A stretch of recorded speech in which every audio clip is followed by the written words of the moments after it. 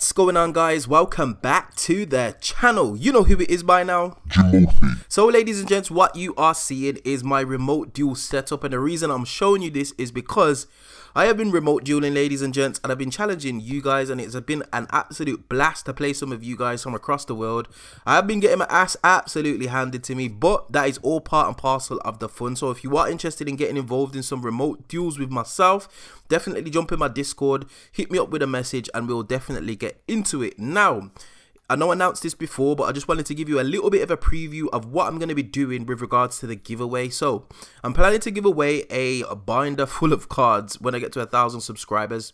And the way that I'm going to do this is I'm going to host some kind of tournament on my um, uh, channel, or should I say my Discord. Um, probably going to be dueling book, and obviously the winner's going to win the um, binder now you can have a look at the binder. It is not finished by any means or any stretch of the imagination. Definitely going to put in some secret rares when I get a hold of some. A lot of the cards in there have been donated. So big shout out to um, Josh. Big shouts out to Tom who's actually started me off. So yeah, ladies and gents, it is here. It's going to happen get to a thousand subscribers we're getting this done and dusted we're gonna find out who's the best duelist amongst my subscribers so definitely get in the uh, discord if you want to get involved ladies and gents Okay, so today we're going to be discussing two cards which I think are going to be definitely mainstays of the upcoming meta. And the first card I'm going to speak about is Ghost Ogre. Ghost Ogre is secretly strong right now. It literally hits qu quite a few of the more prominent cards in the metagame.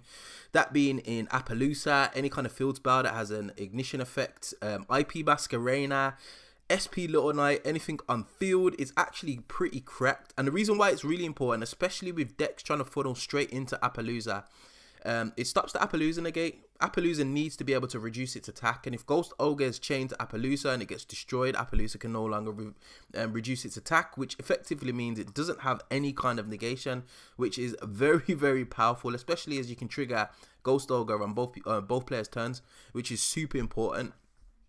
Um, it's also a little bit unassuming. People are playing with, in terms in terms of their play, they're kind of just playing recklessly and not thinking that Ghost Dog is in the format when secretly it really is, uh, especially with the prominence of Tenpai, which I'm actually got my core, ladies and gents. I've got my core almost complete, and I might even take it to a regional this weekend, but that's neither here nor there.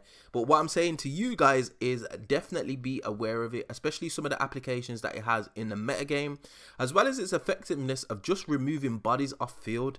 Now, obviously, in a deck like, I don't know, Tenpai, for example, um, it can pretty much OTK anyway, but just clearing the field makes it all that much easier, and that goes for any deck going second, especially when you've got a board full of monsters. Removing a singular threat is very, very powerful. Um, it's not always as impactful as you'd hope it to be, but with the amount of interaction now coming from a lot of different angles and how effective or non-effective Omni Negates are, because they've effectively been kind of like neutered a little bit Ghost Ogre is definitely a card I will start to tech into my um, strategies.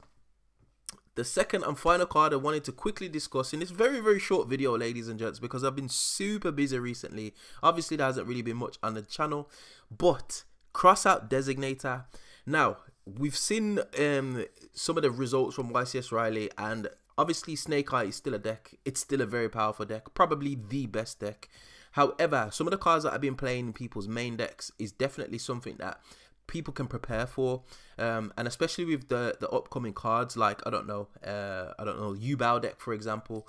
Um, there's cards in there that have a certain degree of overlap. Hand traps are going to be everywhere still in my opinion. I feel like being able to being able to try and prevent your opponent from setting up a board as opposed to just breaking the board is probably a little bit more optimal. That's not to say board breakers are anywhere outside of the meta because with the removal of like the omni negates and such you can actually take a board breaker approach and be pretty successful which is something that i like about the ban list. You've got a little bit of flexibility in doing both. However it's still a bit of a risky strategy. You might not draw them um, they might not be effective. They might set up some kind of I don't know, um, some kind of protection that protects their board from getting outed. So it's really, really a bit of a guessing game as to how this format's going to go. And I feel like hand traps are the safer option because they also insulate you when you go first. You've got a bit of interaction whereas board breakers are purely sided in when you go in second. So I do feel like hand traps are definitely going to be in the format, and crossout designator is definitely a card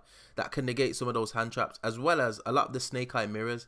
Now it's no surprise this has already been played, um, and it's already very very effective, especially when you're calling like snake eye ash because um, you don't really want to hit it with a Called by the Grave um, because it will just affect you on your own turn. But Crossout as Designator is absolutely perfect. So it's definitely a card I think that you guys should consider kind of like incorporating in your strategies, especially going forward, ladies and gents. And with the presence of Tenpai, it's going to be useful somewhere because they are going to hand trap you to death.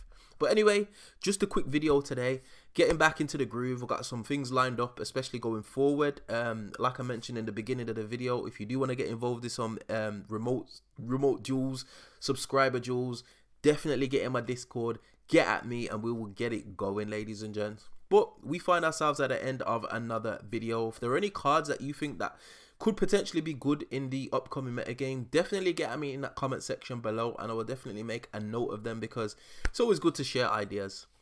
And if you do like this content, you know what to do by now. Hit that like button, share, subscribe, all of that beautiful good stuff. And I will definitely, definitely see you guys on the next video. Hope you enjoyed. Peace.